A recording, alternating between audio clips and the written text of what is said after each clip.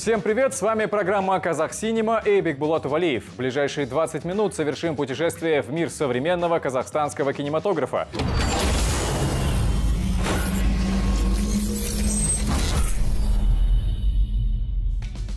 География съемок внутри нашей страны расширяется с каждым новым проектом. Если несколько лет назад кино снимали только в Астане и Алмате, то сегодня кинематографисты осваивают все уголки республики. На живописной природе северного Казахстана, недалеко от Петропавловска, развернулась съемочная площадка военной драмы о Великой Отечественной войне под названием «Смуглянка» или «Каракыз». Автор сценария и режиссер картины – известный казахстанский кинематографист, народный артист, режиссер, кинодраматург Талгат Теменов. По словам авторов проекта, это история о любви, дружбе, патриотизме и героизме, которая будет интересна не только взрослым, но и молодым зрителям. 54, 1, дубль 5. Шапку бросать! Второй Художник-постановщик картины Еркен Сулейменов с командой полтора месяца строили в степи целый аул военного периода с железнодорожным вокзалом, клубом, школой, почтой, мельницей и жилыми домами – Драма «Каракас» расскажет истории нескольких персонажей, связанных между собой. Им суждено встретиться, несмотря на ужасы войны. Главная героиня фильма – Караказ. Она, будучи кинооператором, отправляется на фронт ради своего возлюбленного. Важно отметить, что в этой картине мы задействовали молодых и очень талантливых актеров. Главные роли исполняют Ерлан Кулмурзин и Нурай Сактапова – Раньше я не интересовалась киноиндустрией. Меня пригласили на кастинг, и я прошла. Надеюсь, в дальнейшем получится своей харизмой покорить зрителей. История простого человека, его попытки сделать жизнь своей семьи легче, переживания и перипетии – удары судьбы и пути решения проблем. Такие сюжетные ходы трогают зрителей несомненно, ведь каждый из нас мог оказаться на месте главного героя или его близких – ну а если образы героев воплощены прекрасными актерами, то успех и вовсе обеспечен. Причем вне зависимости от страны показа, сложностей перевода и разницы в менталитетах. Фильм «Огонь», ставший первой полнометражной работой молодого режиссера Айжан Хасенбек, сразу же привлек к себе внимание и отнюдь не только казахстанского зрителя. Сауле! Сауле, садим!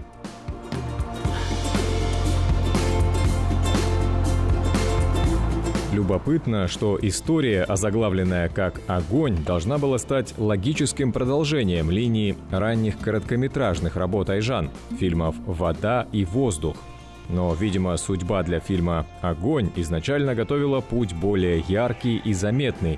История разрослась до полного метра, и с самой первой премьеры в Пусане в 2021 году фильм сразу же привлек к себе внимание критиков и зрителей – с момента написания сценария и по сегодняшний день я очень э, много вложила в э, персонажей, я их тщательно отбирала, тщательно мы прописывали характеры. А, мне хотелось, чтобы характеры были максимально правдоподобными и близкими, такими родными. 18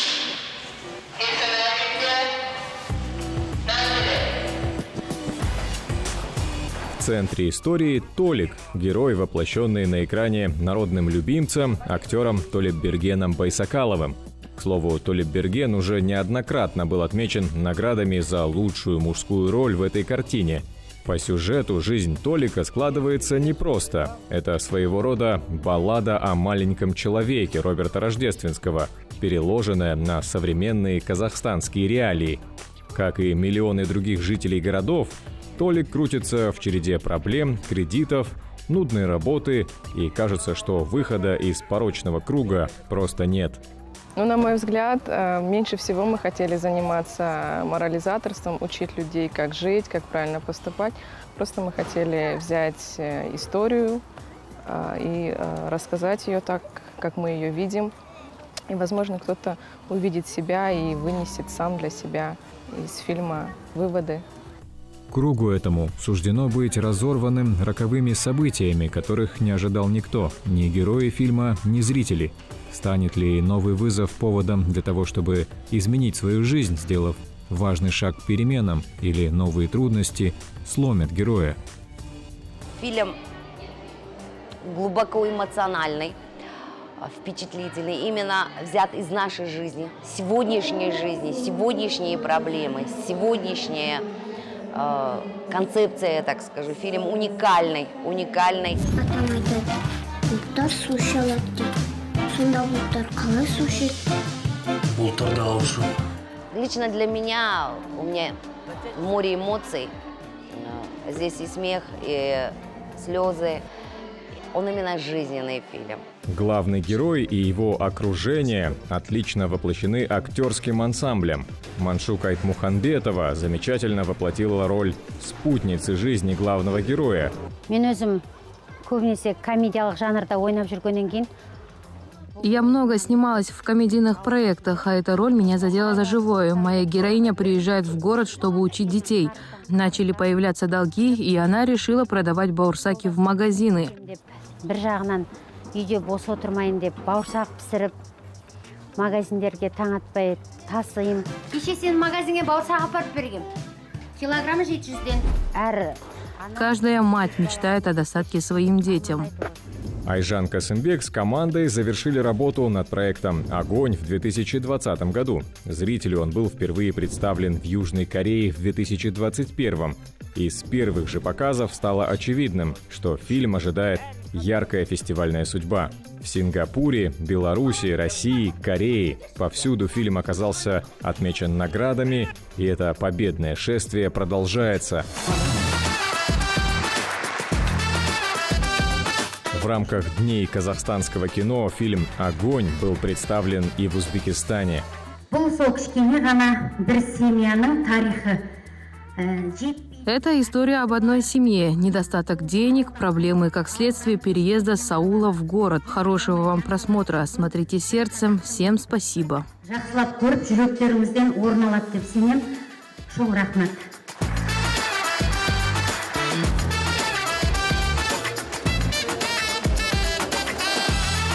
Помимо того, что фильм, безусловно, понравился зрителям, и в них, похоже, очень откликнулась эта история, которая могла бы произойти с любым из нас, нельзя не отметить, что организация подобных мероприятий и гостевых показов ставит перед собой целью международное сотрудничество и развитие взаимовыгодных связей. Просмотр прошел очень замечательно, то есть как бы вот наши даже и зрители, и актрисы узбекские народные, которые вот с нами вместе путешествуют, они тоже э, в полном восторге от наших фильмов.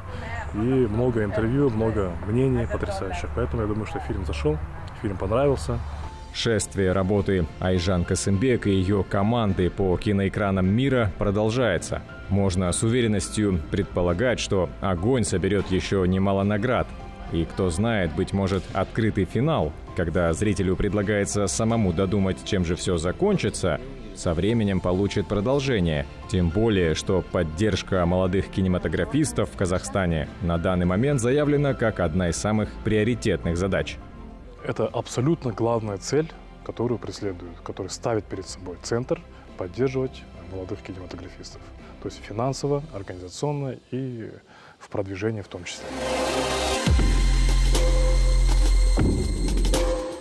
Одни из главных картин, пополнивших казахстанскую коллекцию международных фестивальных трофеев в 2022 году, стали проекты режиссера Дарижана Омирбаева «Акын» и «Последний сеанс». Это приз «Лучший режиссер» на 34-м Токийском кинофестивале и награда на Международном кинофестивале в Бразилии. И сегодня гостем нашей студии стала продюсер одной из этих картин Юлия Ким. Она также известна по проектам «Схема» и «18 килогерц» Фархата Шарипова и казахстанско-японскому фильму «Конокрады. Дороги времени». Юлия рассказала о продвижении казахстанского кино на глобальной арене и о том, какой интерес вызывает наше кино у международной публики. Юлия, приветствуем вас, очень рада видеть. Здравствуйте, взаимно. А, Добро пожаловать в Казахстан. Вы вернулись из Парижа. Да, и очень рада тут быть. Это для меня всегда праздник, встреча с друзьями, погружение в наше кино, в работу. Это всегда очень вдохновляет. Сегодня хотели бы поговорить в том числе о теме продвижения казахстанского кино на международной арене. Все мы знаем, что в последнее время очень много новостей хороших из фестивалей крупных, из небольших фестивалей, которые проходят во всех точках мира. Наши картины участвуют, завоевывают призы. Это как и короткометражные фильмы, так и полнометражные. Можем ли начать разговор с того, что как вы оцениваете на сегодняшний день э, казахстанский кинематограф и его место в мире, и как нам сделать так, чтобы продвигать его еще обширнее, еще глобальнее. Ну, вообще, на самом деле, казахское кино и вообще кино Центральной Азии, оно вызывает большой интерес у, у людей, вообще у публики международной. А, нужно учитывать то, что в советское время практически казахские фильмы никуда не выходили и никуда не, до, не доходили до больших фестивалей. Вот. И после развала а, Союза мы начали сами куда-то подавать, сами где-то показываться, и а, люди просто начали вообще знакомиться, что такое кино а, Центральной Азии, как живут там люди, с какими проблемами они сталкиваются, начали переживать эти наши истории. То есть это совершенно пока еще новый э, такой какой-то э, ветерок, и мне кажется, всегда он э, вызывает интерес. Есть ли какие-то универсальные советы о том, как э, попадать в программы различных фестивалей, как э, покорять сердца отборщиков этих фестивалей? Нужно понимать, что когда вы делаете фильмы, нужно всегда думать о том, а, до какого зрителя он в итоге дойдет. И если мы будем ориентироваться на наш казахстанский рынок, который достаточно маленький, вот, то мы, наверное, мало что можем как бы и достичь. Вот, поэтому в хорошем случае, в правильном, да, нужно говорить о проекте, о фильме еще до того, как он сделан. Поэтому э, со своими проектами я пытаюсь выезжать на, ки на кинорынки или рынки проектов, э, говорить о фильмах, о том, что мы планируем делать, всегда поддерживать какой-то живой интерес к режиссерам, с которыми я работаю, чтобы условно люди уже ждали следующего фильма. Конечно, нужно подавать на фестивали. То есть всегда это такая лотерея. Тут мы не можем сказать, у кого из отборщиков отзовется в сердце ваша история, у кого нет. Но если она сделана честно, если эм, чувствуется, что вы к этому с душой подошли, эм, и с какой-то вашей внутренней глубиной и, болью, э, то, скорее всего, это затронет и того человека. То есть оно придет от сердца к сердцу, правильно? Вот. Если много фильмов есть на такие животрепещущие фестивальные темы, но видно, что они очень спекулятивные, и, конечно, это тоже отсеивается. То есть тут все равно должна быть какая-то искренность, которая чувствуется от автора и передается зрителю. Теперь давайте поговорим о вашем продюсерском опыте. Вы были на нескольких фестивалях с режиссером Дарижаном Умирбаевым. Его фильм «Акын и последний сеанс». А, он даже получил приз за лучшего режиссера в Японии и удостоился приза за лучший фильм в Бразилии. Можем ли немножко рассказать об истории этого кино, о фильме «Последний сеанс» и о картине Акын? неге осы сендер махаббат махаббат деп зарлай бересіңдер одан да мына біз соғып жатқан жаңа завод туралы өлең жазса Едар, у меня к вам есть одно предложение, от которого вам нельзя отказываться. На самом деле все они об искусстве так или иначе. Акын а, рассказывает историю современного поэта, которого внутри, конечно, ведет а, сильная какая-то сила а, для того, чтобы творить и писать, но а, он сталкивается с вызовом сегодняшнего времени, наверное, что никто не читает не то что книги, но поэзию так тем более. Вот. И он кажется себе таким ненужным, а при этом внутри его что-то ведет.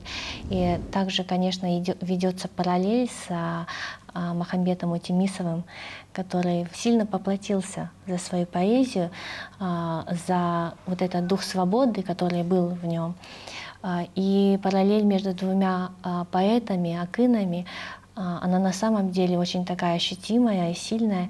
И в этом фильме, конечно, показывается, что, наверное, во все времена, во все века жизнь поэта, который вот внутри остается верен себе, не работает на систему, всегда это очень сложно.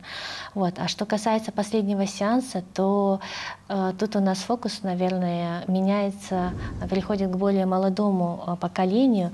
Э, и Далижан тут размышляет о том, что если даже в, молод, в молодом возрасте, в юном возрасте ты как-то проникаешься искусством, э, то ты должен принять эту мысль, что, скорее всего, а, ты обречен на одиночество какое-то. Вот, потому что, опять же, в таком шумном, а, очень бизнесовом, а, быстро движущемся мире, если ты выбираешь такую дорогу какого-то внутреннего погружения, познания, искусства и так далее, что тебе будет сложно синхронизировать а, свое внутреннее наполнение с тем, что происходит вокруг. Ну, Дарижан Мирбаев, э, несомненно, один из э, ярких представителей казахстанского кино, большой художник. А, и в одном из интервью вы даже говорили, что есть э, довольно обширная фанатская база у Дарижана во Франции. Во Франции, да, есть люди, которые постоянно его смотрят, ждут фильмы и писали мне, когда выйдет новый фильм Далижана. Есть люди, у которых сохранились кассеты а, с фильмами Далижана. Они говорят, что мы не выкидываем наши проигрыватели, потому что мы каждый год пересматриваем эти фильмы. На самом деле очень вдохновляет. А когда мы были в Лакарно на премьере фильма «Последний сеанс», к нам подошли молодые ребята а, из Бразилии и Америки и сказали Далижану, что вы знаете, ваши фильмы нам вообще помогли пережить ковид, оставаться как-то в своем уме, и мы постоянно пересматривали ваше кино. Ну, если фильмы Дарижана помогли пережить ковид, то они имеют еще оздоровительный эффект. Да. да. А, ну и давайте теперь а, поговорим о том, что а, в Казахстан а, мы радуемся, когда все больше и больше фильмов снимается в копродукции, и мы знаем, что определенные шаги в эту сторону делаются. И даже корейские кинематографисты побывали в Казахстане, что это нам а, несет э, и могут ли быть э, в скором времени корейско-казахстанские фильмы. Эта программа была финансирована Корейским кинофондом «Кофик» и ведущей корейской киношколой «КАФа». И с а, казахстанской стороны я была очень рада, что нас поддержали а, Алмаю университет. Вот. И программа состояла в том, что молодые а, кинематографисты из Кореи и из Казахстана тут наконец-то встретились и начали совместно развивать проекты. И это, конечно, многое дает, когда тебя вот ставят в такие условия, что ты должен сейчас вот с этим человеком что-то сделать, как-то срезонировать для того, чтобы условно ваш проект а, из э, какого-то тритмента превратился прям в полноценный упакованный продукт. Многие участники как бы поняли, что такое копродукция, как надо себя вести, как надо себя позиционировать, как надо защищать какие-то вещи, которые вам принципиальны, и выслушивать в то же время вашего партнера. Вот потому что на самом деле э, при копродукции нет такого, что ты делаешь все так, как ты хочешь. Нет, вас много, и чем вас больше, тем, конечно, сложнее договориться, но все равно это возможно. Вот. Но у копродукции есть и много плюсов, потому что фильм выйдет и в вашей стране, и в другой стране. Бюджет вы можете найти и в вашей стране, и в стране партнера. Ну и на самом деле плюсов очень много. И, конечно же, когда вы делитесь своими знаниями, а, прорабатываете вместе сценарий, то он тоже укрепляется, потому что у вас есть взгляд человека извне. Вот это очень важно. Эта э, обучающая программа вполне может вылиться в реальное сотрудничество и вполне может принести реальные плоды в виде проектов. Да, если вот э, ребята продолжат работать вместе, э, будут подавать на питчинги и э, искать э, финансирование у зарубежных фондов, то, конечно, да. Но это вот уже зависит от э, участника. Ну, будем думать, что обязательно участники сработаются. И не только казахстанско-корейские, но и копродукции с другими странами э, скоро попадут в казахстанский прокат и будут прокатываться за рубежом. И напоминаем нашим зрителям, что сегодня у нас в гостях был международный продюсер Юлия Ким. Юлия, спасибо. Спасибо вам. Это была программа «Казах Синема» и Бигбулат Увалиев. Давайте любить и поддерживать современное казахстанское кино вместе. Впереди еще много интересного. Увидимся, как обычно, на телеканале «Жибек Жола».